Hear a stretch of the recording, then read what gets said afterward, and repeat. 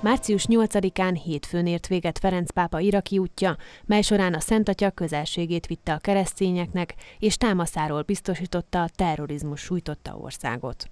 A Szent Atya közel-keleti útjával megvalósult második János pápápa álma is, aki 1999-ben tervezett egy rövid látogatást az országba. Ferenc pápa a négy napos útja során találkozott Irak politikai vezetőivel, a civil társadalom képviselőivel, a diplomáciai testülettel, a püspökökkel és papokkal, szerzetesekkel, szeminaristákkal és hitoktatókkal is.